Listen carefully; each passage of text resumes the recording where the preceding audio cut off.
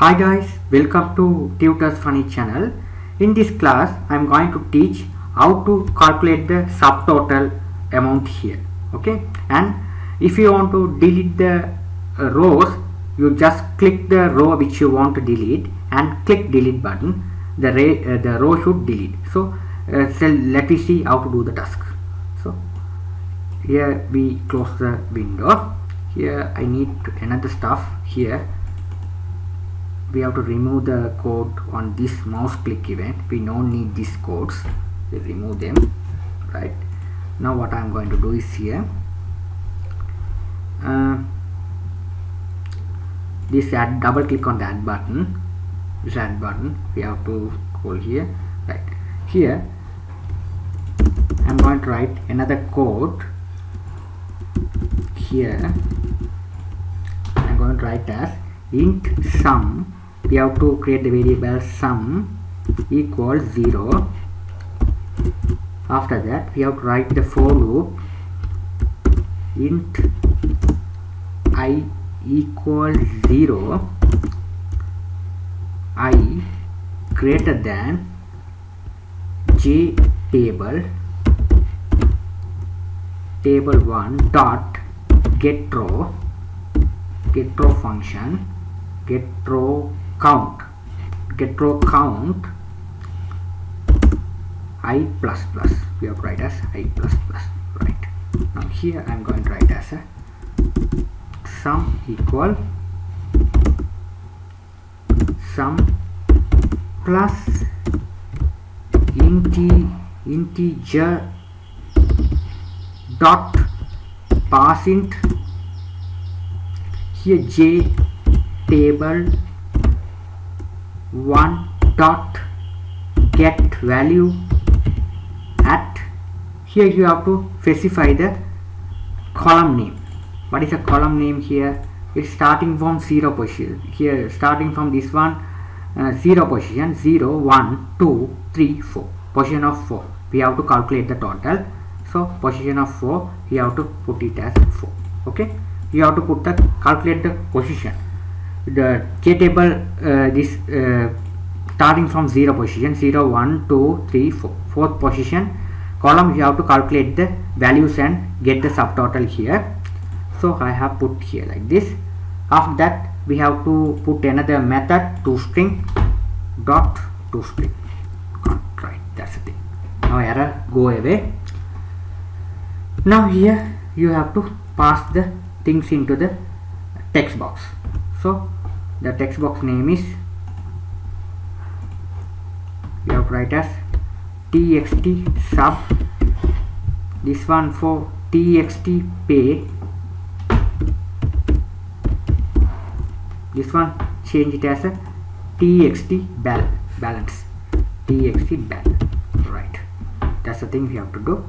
Now what i'm going to do is here i'm going to write here as txt sub total dot set text.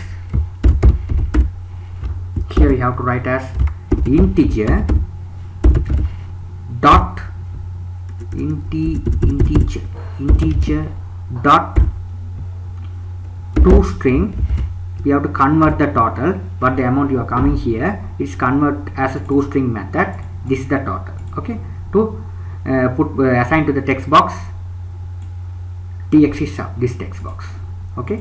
What are the value available in these columns? All the values are calculated and display in this text box. Okay let's check whether it's working fine or not. Okay if i enter the barcode over here and relevant product code uh, details will be displayed here. If you give the quantity if you click add button here the total will display here. Now I, again I am going to enter the quantity sorry barcode uh, barcode and display the uh, details here. I'm going to enter the quantity as uh, 10 if you click this one here these two are uh, added and here it will add the subtotal over here. These things I'm going to do here,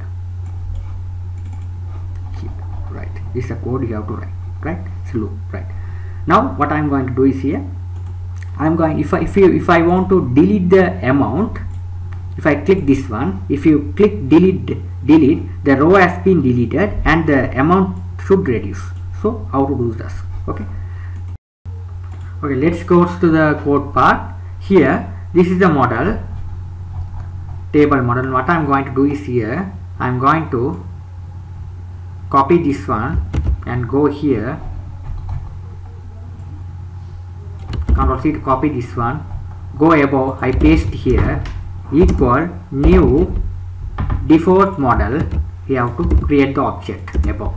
So we can reuse them instead of writing again by again. So we have to re reuse them right? Now here we have to we don't need this one the object right? Now what I'm going to do is here I'm going to double click on this one and here I'm going to write this same model object which object? The same model object you have to write. Here this one this object. Model object. This how we can add the data into the j table. Use this model object. The same model object we are used to delete the record. So we have to when when we delete the record we have to use that module object. Get here. Dot there will be the free defined uh, function. Remove row. Remove row when we add the data into the j table there will be the function add row. When we remove the uh, row there will be the function remove row right? You have to write like this here. You have to specify the j table name here. Dot get selected row. Get selected row mean you are select which show you are selected that particular row has been deleted. So you have to properly give here right that's the thing you have to write like this. Other things are same here. Which one? The same code here you have to going to paste. The same code you have to paste. Right. Control C to copy. Here control V to paste here. Other code should be same. You no need to write. You have to write here. Only this one only. Right. Now when you uh, the sum function you have to write again. In dot sum sum equal 0 you have to write like this. That, that, that, that function you must write equal 0 and what is wrong sorry not here. It's here you are right right. Now the row has been deleted successfully right. Now let's arrange them in the order. The same code you have to write.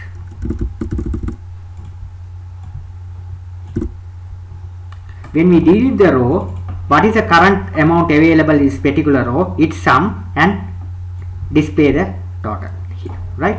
Okay let's check. Here. Now enter the product here.